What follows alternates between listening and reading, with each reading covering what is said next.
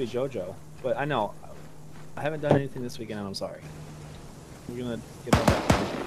Take go to the pool morning first thing. Oh no! Coming up. Hey, we got a truck coming in. Truck coming in from the south. Uh, I gotta check White. I don't know if he's down. Oh, I just threw a grenade. Oh shit, get out of here.